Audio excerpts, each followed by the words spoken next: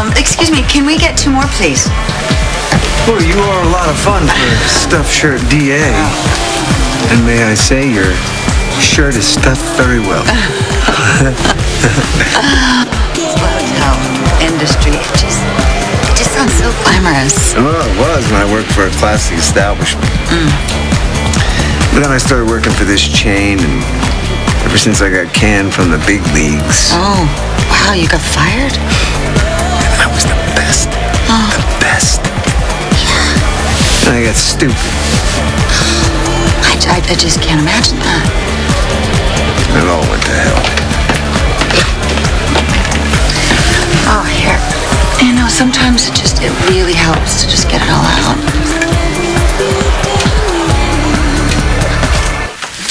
Part of me was hoping that you would talk me out of breaking up. I, are you kidding me? I, I don't have that right. Not after everything that I did. I mean, you you are- you are an an unbelievable woman. But Greenlee is right in that room. Just, just go. Why are you still here? I'm not gonna leave you like this. I'm not. I'm not gonna do that. I'm not. I don't. I don't know how this trial is gonna play out, Madison. For me, for Greenlee, I don't. She'll have you, no matter what. She's lucky. Are you kidding me? I am so lucky. I am so lucky to have gotten to know you the way I am. Stop, I'm don't. serious, Madison. I am so serious. You you are you are so beautiful and smart and you're funny and and and the cooking and that smile. Well, you helped me find it again. You know, I was kind of a wreck. and You were there. I'll be there again in a heartbeat. Whenever you need me. Like you were always there for Greenlee. But not, because she's the one you love. I should have been honest with myself. with a lot of people. Sorry, am I supposed to be polite and civilized about all this? Because I just, I, I, I can't. I just I don't want can't. you to be polite and civilized about this. I don't want that. I want you. I want you to be honest with the way you feel. I guess. I guess just part of me just. I just I want this all to be okay. That's all. Just worry about you. You might be about to take the fall. Forget about me. Okay, I'll take care of me. Whatever happens, I will take care of it. Just.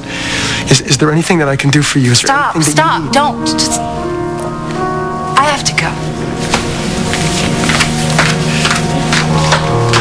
Do you get how awful this is?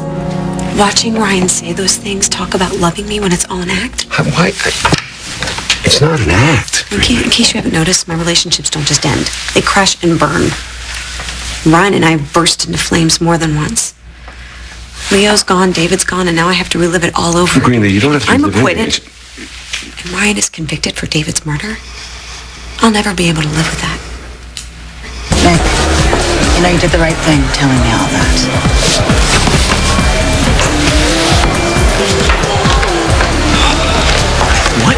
Do to Listen, I don't have any time to explain. I gotta get to the courthouse, but get coffee in him right away and sober him up.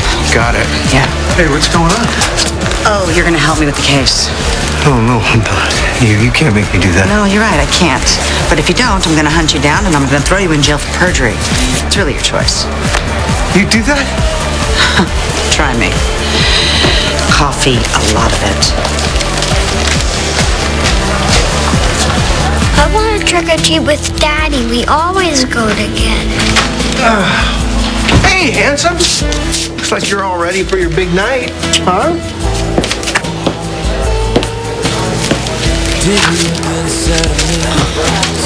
Something I said? I'll be right back. No, no, no, no. Give, give him some time. Give him some time. AJ wants to go trick or treating with his daddy. Really? Oh, that's interesting. You know, I just came from the mansion and JR's got the same look on his face AJ does. If you're gonna tell me that I'm wrong to keep AJ from JR, I- All I'm telling you is that JR desperately misses his son. that house is not suitable I for a kid. It's a disaster, okay?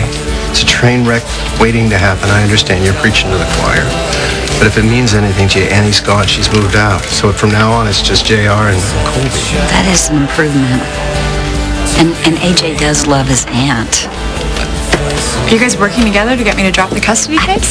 Honey, I am on your side. Listen, if you want to pursue custody, it's your choice. It's your privilege. But darling, do you really have to work so hard to keep them apart, to keep him from his father, to deny them any chance of spending time together? The judge supported this. What about AJ? What about what he wants? He's hurting. He's homesick. Would it really be so terrible to let him spend a couple of hours with his father? They've been trick-or-treating together ever since he had to be helped, carried from door to door to do it. They do it every year. It's their dish. Yeah, but if I hand AJ over, Jeremy never hand me back. Well, then why not go with them?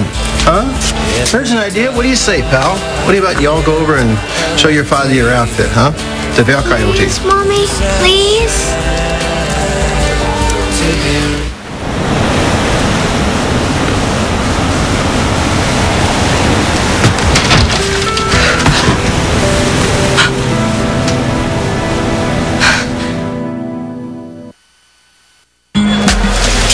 Be staring at that all night? Oh,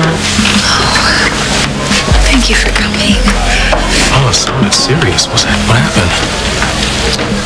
Ryan, Did something happen at Greenlee's trial? we're done. What? I, I called it off. I guess he kind of started it. I thought he just gave you a key to his place. Keys don't mean anything when he's in love with someone else. Greenlee. He actually said that? Yeah, under oath, in front of a courtroom full of people. Oh, that son of a... I'm, I'm sorry. No, you tried to warn me. So did Kendall. Even Annie. I just. I didn't want to hear it. I was so sure that it was real. The way that Ryan looked at me, the things he said. I thought I had finally found a man to love who would love me back. Could I be so stupid?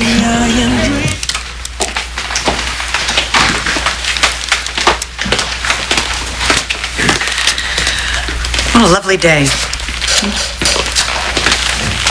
That can't be good. All rise. The Honorable Judge Miriam Cressman presiding. Be seated.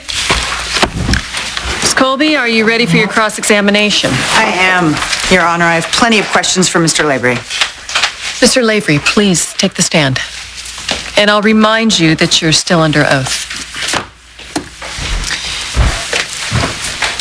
Mr. Lavery, do you know Tony the Traveler?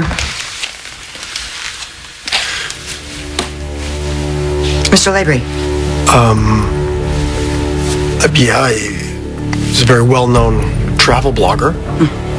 but you're not this blogger, correct? No. And yet you borrowed his name. Um, yes, I, I did. It was a very long time ago. Greenlee and I were on the road. Can you please share with us the circumstances surrounding this identity borrowing? Uh, sure. I was just trying to show Greenlee what I did for a living, like a lifetime ago. hmm And what was that? I was a con. I was a, I was a con man. What are you doing here? Uh, I, I should have called. Yeah, you should have. But you're here now, so why are you here? Just was checking on you and Emma. Do you need anything? We're fine. Is Emma here? Uh, she, uh, she got this in the house. She's out of friends. I, I'll be sure to give it to her. I can't believe you went swimming. It's gonna be like ice cold. I like cold water. You're freezing. No, I'm not. I'm fine. It felt good, really. I just needed to clear my head. Are you okay? Okay, you're right. I'm freezing. I don't know what I was thinking. I had all these memories come crashing back, and I thought zero degrees might snap me out of it.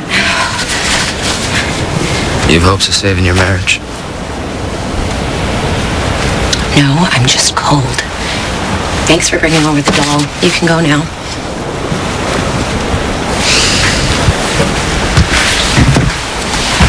Maybe I should go for a swim. What terrible thing are you trying to forget? Halloween. Why? Scared of vampires? No, AJ and I, it's our favorite holiday. We like dressing up and trick-or-treating. And Actually, we're pros at tricks. Mm. Yeah, I can imagine. Marissa still won't let me see him. What if I lose custody of my son? What if I lose him for good? I, I just can't deal with that. You won't. You won't lose him. And if I do? I really hope that doesn't happen. Because telling your child's life as you know it is over and the family you wanted to be, it's not going to happen, it literally rips your heart out.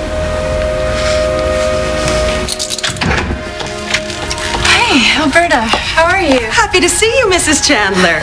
And the little one. Mm-hmm. Is JR here? He went to the beach cottage. Can we go, Mommy? Can we go see Daddy? Marissa has gone to war for AJ. It's like, no matter what I say or the promises I make, I just make things worse. I don't know why I'm telling you all this. I shouldn't be here. Stay. Talk to me. Maybe we could help each other.